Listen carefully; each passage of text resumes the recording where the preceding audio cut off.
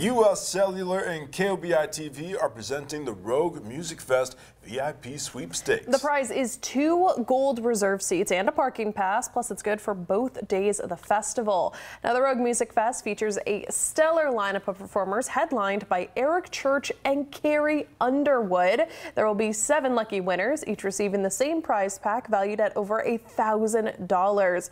Now, to enter, viewers can visit their local U.S. Cellular store. No purchase is necessary, and you don't even have to be a U.S. Cellular customer. Entries end on Sunday, June 11th.